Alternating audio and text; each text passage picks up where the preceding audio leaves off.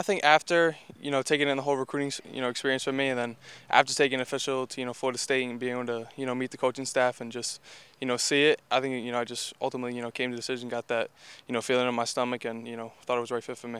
Is it one of those things that you really can't describe? It's just once you hit campus and met with the coaches and players, you said this is for me. Yeah, I think you know going throughout my visits, you know I was just looking for that place that you know felt right for me, you know, a family environment that you know it's a place that you know I fit in the offense and thought I could you know succeed in in the future when I go there, and you know, I just felt that you know Florida State was a place for me.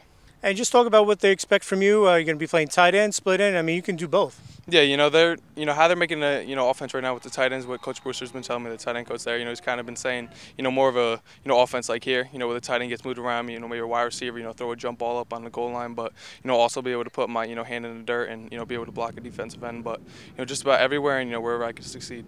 And uh, just talk about the other schools involved. I know Wisconsin was right there at the end, and Rutgers really pushed hard. Uh, just your thoughts. What made Florida State over those two schools? Uh, yeah, I think ultimately, you know, was the tight end coach. You know, Coach Brewster. I think, you know, ultimately, I just, you know, felt more comfortable with him. You know, with his experience in the NFL. You know, coaching Antonio Gates, and you know, just, you know, ultimately, I got that, you know, feeling in my stomach, and just, you know, felt it was right for me. And you speak about Antonio Gates. He's a guy that played basketball and then became a football player. You've done both and excelled at both.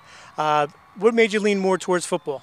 Uh, you know, it's not that I lean towards you know either or. You know, I worked hard at you know both sports. I think it was you know ultimately when I first got you know my first offer for Virginia Tech, you know I had football. I think that's you know when I saw that football, you know, was the sport I was going to play in college. Now, when you were a youngster uh, playing youth ball, you were a quarterback most of your career, and then that changed to Pope John. Talk about that tra transition and that you know how you did it so well. You know, I think you know the coaches here, you know, really made it easy for me. You know, coming in, you know, I thought I was going to be a quarterback, but you know, ultimately, you know, they saw the size, athleticism I had, and you know, said that you know, I should try to be a tight end.